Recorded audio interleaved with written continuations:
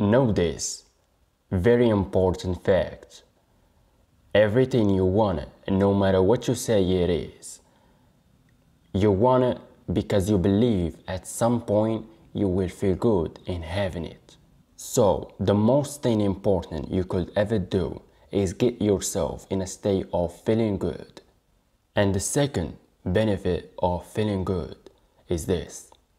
When you feel better, you attract better. So do whatever you need to do to feel good.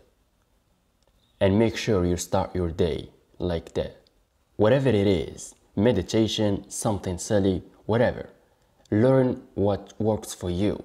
Whatever gets you feeling amazing. Whatever gets you feel like today is gonna be a miracle. Go ahead for it. If you want anything in life, you have to take actions. But you never have to take actions with a negative feeling.